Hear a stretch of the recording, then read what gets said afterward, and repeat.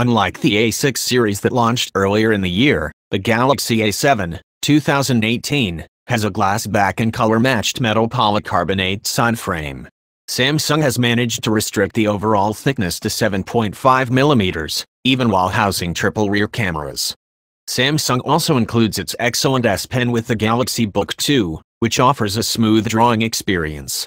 It docks to the tablet magnetically, which isn't the most secure way to stow your stylus, but at least it's there.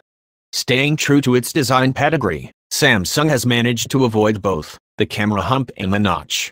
While restricting camera bulge is laudable from a design perspective, and something Samsung practices even in its high-end phones like Galaxy S9 and Note 9, it also restricts the size of the camera sensor. Samsung sticking to its no-notch philosophy, on the other hand, is certainly commendable and warmly welcome. After cycling through a myriad different size notches through the year, the regular uninterrupted fascia on Samsung phones still feels natural and dignified. Another significant talking point here is the fingerprint sensor position. The Galaxy A7 2018 houses the biometric sensor in the slight indentation on the right edge, clubbed with the power button. The power button is still clickable, but you don't need to press it for the fingerprint sensor to work.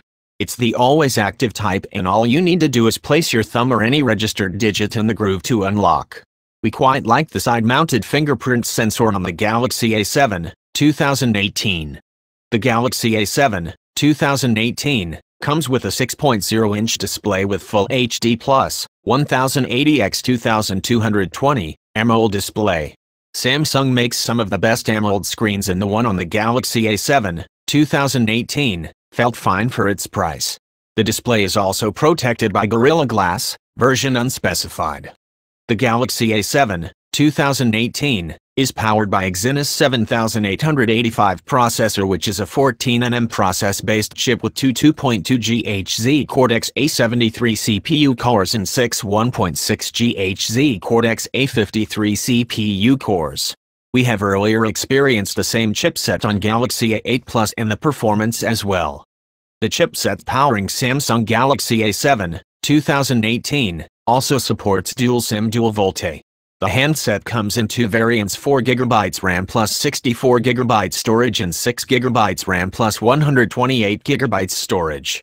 Both variants accept up to 512GB storage. Interestingly, you can transfer apps and social media data to SD card as well.